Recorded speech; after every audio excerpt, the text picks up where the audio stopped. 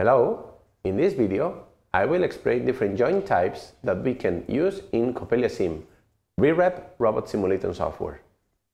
The aim of the presentation are to understand the different joint types and how do they describe movement between objects, to know different joint modes, to implement torque force control, velocity, position control, or even a motor-free mode. And finally, another objective is to understand when the joints have to work dynamically or statically. There are three types of joints. Revolute joints that allow turns around the joint axis, prismatic joints that allow linear displacement on an axis, and spherical joints that allow changing the orientation arbitrarily. Joint size is not important, it's just simply an aesthetic aspect. The important thing is the direction of the axis and the position value angular or linear, depending on the, on the joint type. Both revolute and prismatic joints have one degree of freedom, while spherical, spherical joints have three degrees of freedom. Indeed, they can be seen as three revolute joints intersecting at the same point. Joints allow relative movement between the parent and the child object. When a hierarchy relationship is established between a joint and an object, it will move according to the position of the joint. In the case of an articulated robot arm, the robot links moving according to its uh, joint position uh, will change. Joints may have physical limits where the position must lay. This is clear in the case of a robot arm, while uh, wheels of a mobile robot can rotate, let's say, unlimited. Joints can be passive, that is, joints that are not directly controlled and they are fixed, although their position can be modified through programming scripts. On the other hand, joints can be dynamic uh, if we set the torque force mode, so they can co uh, be controlled through the physics engine. Um, they can be actuated or non-actuated, and the reference values can be set through programming uh, scripts too.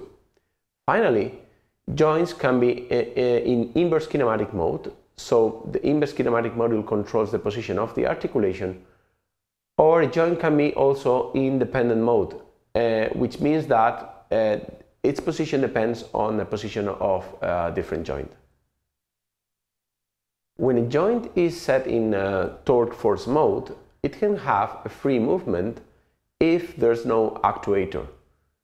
In the case of using a motor, uh, uh, then the, the speed uh, of, of the joint can be uh, modified or can be controlled if we do not activate the closed loop control. But if we activate uh, or uh, we enable the closed loop control, then we can implement a position control using a PID or we can implement an impedance control acting as a spring damper. Speed control is quite simple. If the maximum torque of the joint is high enough to move child objects, then the speed of the joint will be equal to the reference speed, and this, this happens in instantaneously. If the force is not enough, then it will gradually increase until it can uh, be reached, as long as the maximum torque allows it. This mode is suitable for speed control of wheels of a mobile robot or even for instance, a kinematic control of an articulated uh, arm. Position control of joints uses PD control, uh, which uh, sets in the end uh, the, the joint speed.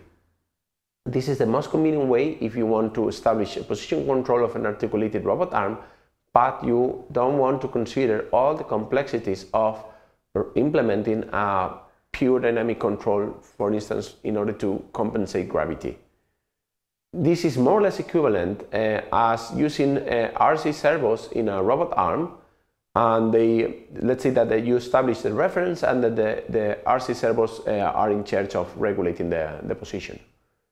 Tuning of PID control parameters or constants is an advanced topic and this will be seen in, a, in another video. If, on the contrary, we intend to perform a force or impedance control, we can establish viscoelastic constants of a spring damper system. This may be uh, convenient uh, for instance, in the case of robots with elastic joints. But again, this is an advanced topic and this will be seen in another video. When using joints, you must take into account if the object that you're moving is static or dynamic. For dynamic objects, we must use the force torque mode or actuate, uh, uh, sorry, activate um, the hybrid mode. If the object is static, we, you can use either a passive, inverse kinematic or de dependent mode, but then you cannot use the hybrid mode anymore. Um, there's a mode in which we can expect, or there's a, there's a tool in which we can expect if uh, an object is dynamic or uh, static, and this will be uh, uh very useful when, when whatever uh, we need to detect if we need to uh, set the, the joint in, a, in dynamic or in a static mode. In this video, I have shown different joint types in CoppeliaSim VREP. On next video, I will show you how to work with joints using the simulator and how do they respond under different configurations. Thank you very much.